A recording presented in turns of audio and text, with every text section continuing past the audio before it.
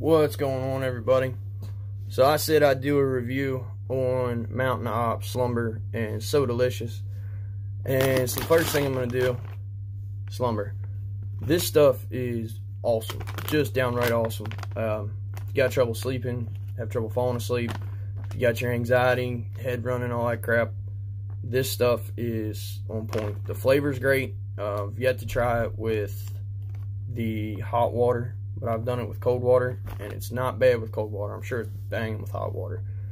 But I would definitely check these people out. They are absolutely amazing. Everything's backward because I got to use my cell phone to record because I'm not currently back in the United States, so this helps kill time.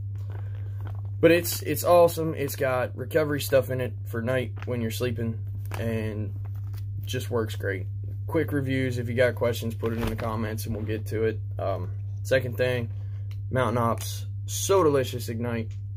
It's not bad. It comes with three different flavors. It's got root beer, red cream soda, and orange soda. I've had all three. So far, my favorite is the orange soda. It tastes just like Tang. So good. It's got no crash at all. I've used energy drinks like Celsius, Red Bull, Monster, Bang, everything you can think of. I've used it in excess. And this by far has been the best, and I love it. I will continue to buy it. I'll probably try their regular Ignite as opposed to the Sodalicious next time. But if you're military, law enforcement, fire, first responder, they offer a great discount for you. Definitely check them out.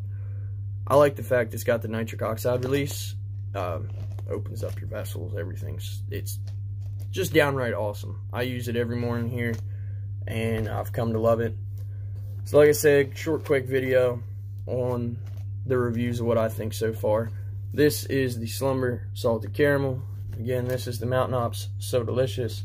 Try these things out. They work phenomenal.